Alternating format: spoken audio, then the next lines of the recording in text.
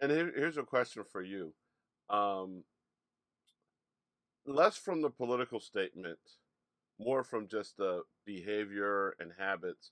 Have you ever noticed that the people who sometimes feel like they have to quit Facebook, again, these are not people who are making a political screw Zuckerberg statement, but they just needed to walk away from social media. Have you ever noticed that in many cases, social media really is not the problem because if you know those people well enough in other aspects of their life, they sometimes have to quit other stuff as well. What I mean by that is their inability to compartmentalize. You know, like uh, when some people are just like, you know, it's taking over my life, I'm doing too much.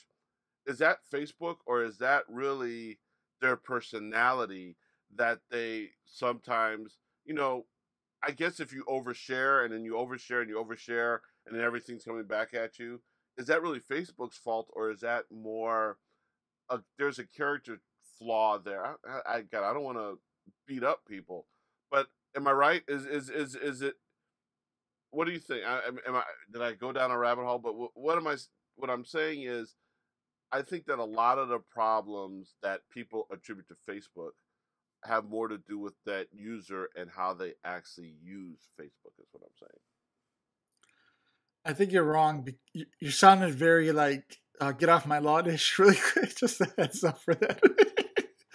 the only reason I say you're wrong is this: you weren't born into it, right? So, a ten year old now has an entire his friends are based off social media, and and they have less friends in real life. So deleting it or I, I, need to get away from it. This idea is that because they're so attached to it, and and part of it is like there's schools who use Facebook groups as like tutoring and stuff like that. Like these kids have built an online world, and the the real question is like, is it is that healthy, right? Because it's on some level reality, but some level they kind of they they they paint an image online that's not accurate to real life. So these kids have entire kind of databases that they need in order to kind of survive socially, if that makes sense. So I don't want to I don't want to completely say that you're wrong, but but look, I, will give you a good example. Two years or, or uh, right after George Floyd, I just I woke up one day and said I need to delete Facebook and Instagram